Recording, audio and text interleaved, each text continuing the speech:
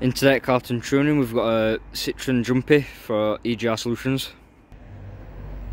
I've used KESS version 3 for the OBD to pull the file off and I'll write that on when we get the file back.